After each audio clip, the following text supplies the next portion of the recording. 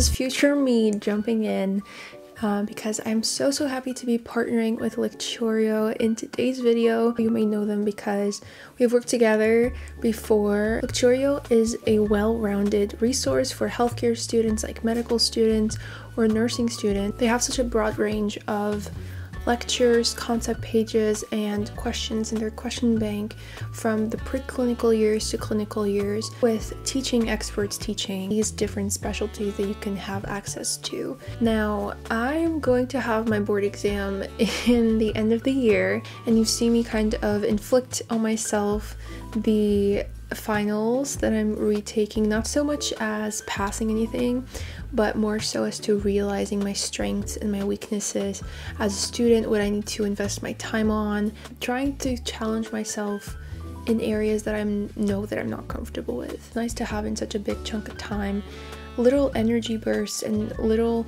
reminders to not study passively but really try to interact with ma the material in a question setting. And that's why I think like self-assessments and exams are so important when studying for board exams because they really allow you to understand where you need to invest more time in, but really in the comfort of your home, in your privacy. You don't have to display your results, they're really just for yourself and to understand your progress throughout your time studying. So, Lecturio's self assessment was created to help students measure their preparedness and get first-hand experience in a simulated USMLE testing environment.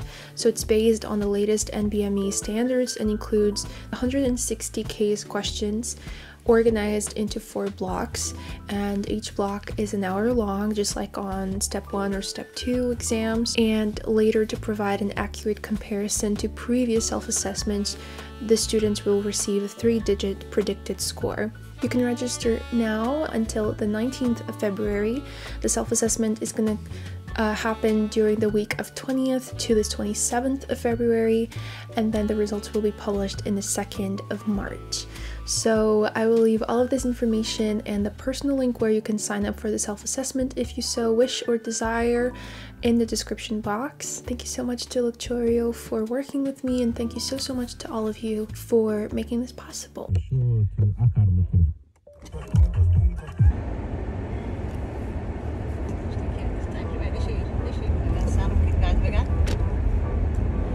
vai assim a.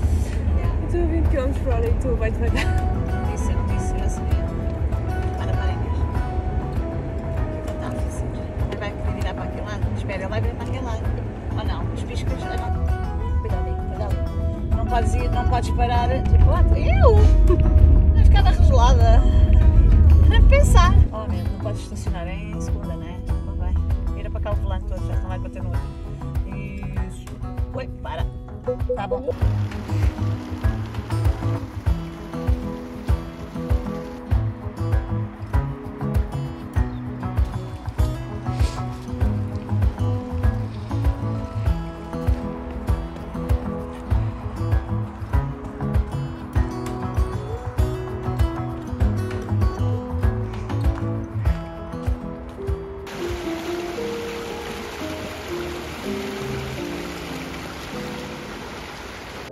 Thursday, so there's only three more days until my OBGYN internship starts.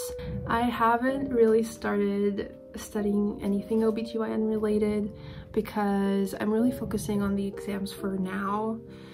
And it's not like I really go into rotations knowing a lot. The process is going to make me learn and experience is going to make me learn so much more than books. This weekend, I'm just going to continue with hematology, nephrology, and pediatrics. I'm excited because I finally charged my tablet and I've forgotten to charge my tablet for the longest time and yesterday I was I realized that I haven't read any book yet this January. I'm a really big mood reader. Like I read a thousand books at the same time. Here I have like a lot of other books that may fit my mood. So I finally charged it and I'm excited to pick one on the train. I think I hadn't charged this since November. I just for forget. We're gonna just eat some fruit and then we're gonna go to campus and study the whole day. I'm excited.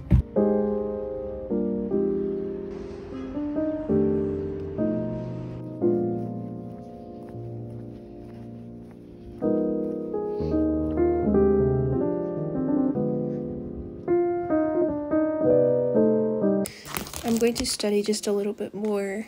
Actually, I'm gonna do like try to do two lectures of pediatrics. I'm dividing my lectures for the days that I have left until the exam. If I don't do these two lectures today, they're going to pile up for another day that I'm going to be even more stressed. So might as well do them now while I'm still in the beginning, while I still have time, and so I don't pile up so I have to do four lectures in a day later on. Normally, I'm a fan of doing the hardest lectures first, but since it's already midnight and I've had a pretty long study day for me, I'm gonna try and choose like two very short ones.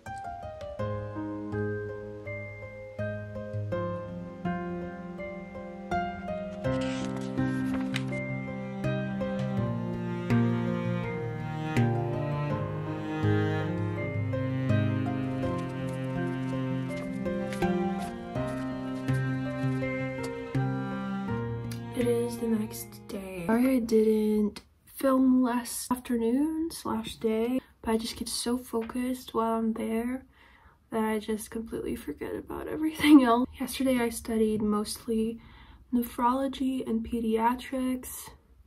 I have three more days to study that, so I've been noticing a lot of improvement on my um, questions, but I'm not sure if the questions, because I've been doing questions from the academy to prepare so i'm not sure if the questions are going to be of a similar vibe. I need to do practice questions from previous exams and i hate that i thought for some reason.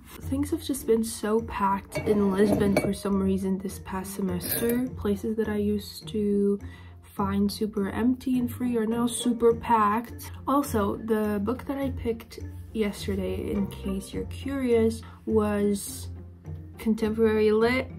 What do you think I picked? I went with Sally Rooney. The only book that I read from her was Conversations with Friends. It was a couple years ago. Like, I think I gave it three stars. Like, it wasn't great, but it wasn't awful to me. So far, it's interesting but it's not it doesn't wow me you know what would be really cool if from that first chapter it went on for like a thriller slash mystery like that would be really cool one of them dies or something like that or something happens in the house I should finish the book. I never finish books because I'm halfway through Dracula, of course. I'm halfway through Green Gables, so I should take either one of these instead of starting a new book.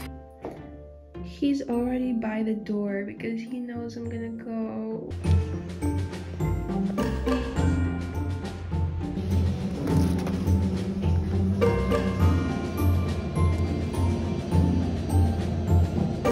So I decided to come home earlier. I stayed in the coffee shop until 2. Ollie today in the morning really struck a chord with me. I felt like he was really lonely. When I got home I played a lot with him immediately and right now he's sleeping and I'm gonna have some soup right next to him. Before I went home, I actually went to see some books, obviously. They basically put the books that are kind of better than brews on sale after Christmas and I obviously wanted to get something because you don't really get these prices on hardcovers. This is a sequel of a book that I've been meaning to read for the longest time, which is The Handmaid's Tale by Margaret Atwood and I've heard that the first book is uh, awesome and this sequel, The Testament, has some mixed reviews.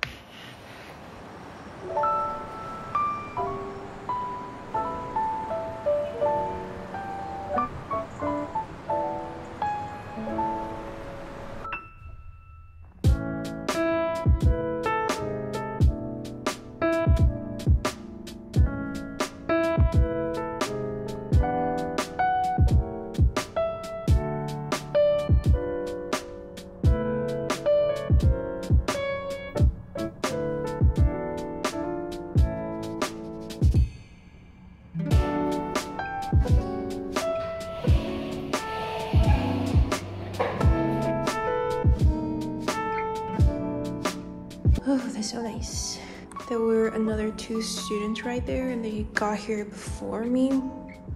And so they had the heater next to them and I was starting to freeze.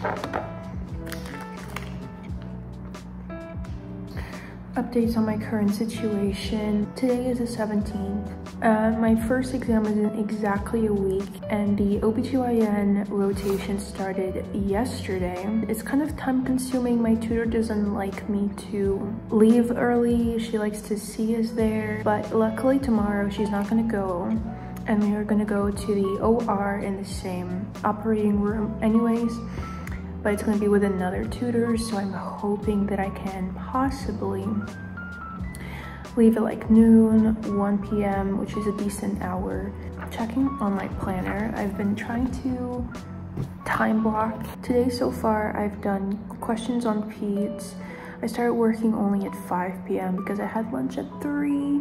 I'm going to continue watching pediatric lectures so there's not much time left but i think i'm gonna probably watch two more lectures and then i'm just going to at 9 to like 11 from these charts they're really useful. I'm going to revise hematology nephrology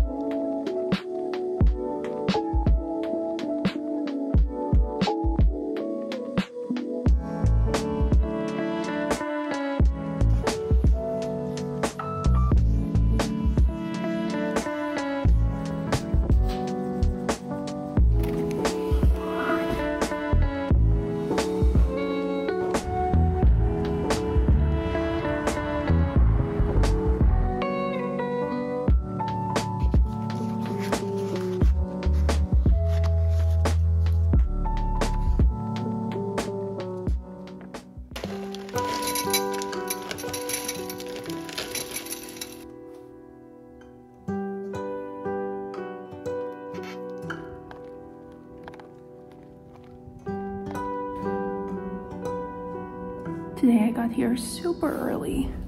I'm very happy. Tea? Some coffee? Mm, I'm just gonna do exercises and memorize stuff. Exercises, it really like gets my mind working.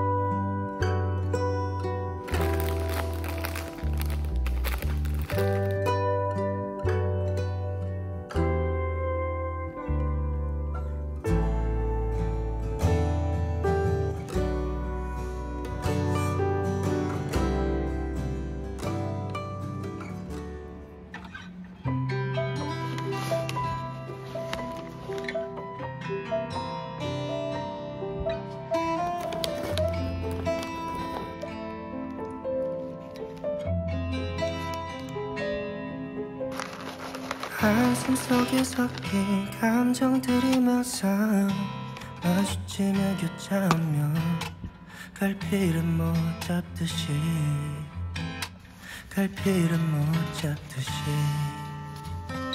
또 지나가는 길 이 짧고 긴 시간 동안 We are here again. I just got here. It's four. I watched two surgeries. The surgeries are really interesting because they're laparoscopic, and so there's a little movie TV that you can watch. But I definitely need more time to study. Let's do this. It's been on my mind but I'm moving along 스쳐 지나가는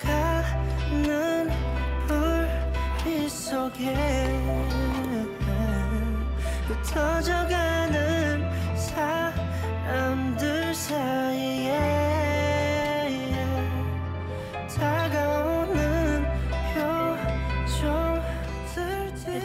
about midnight. Tomorrow's going to be a full day for me. I have a class at 9. It's probably going to be like a couple of hours, but hopefully I can leave earlier at like 11.30 to go to the exam. After the exam, I have emergency department hours for the OBGYN internship. We'll see. We'll see how tomorrow goes. I'm not too stressed. I'm just really glad that I was able to revise so much pediatrics.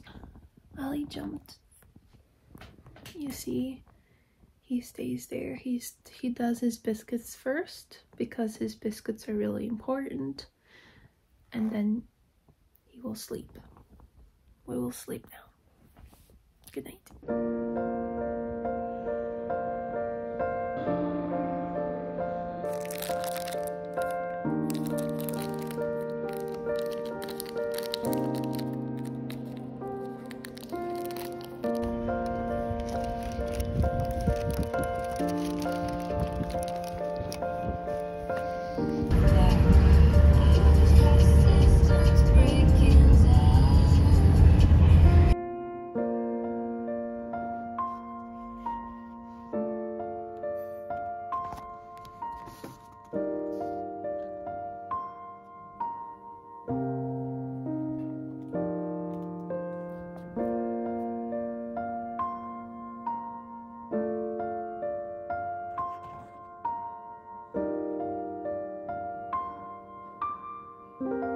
You are burnt beyond recognition, he added, looking at his wife as one looks at a valuable piece of personal property which has suffered some damage.